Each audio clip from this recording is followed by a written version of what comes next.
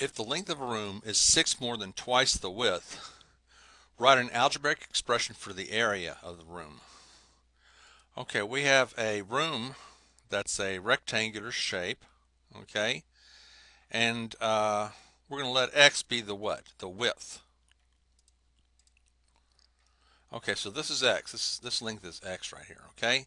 Now it says twice the width, so we're going to have 2x and then it says 6 more than twice the width. So more than means we're going to add, we're going to add what?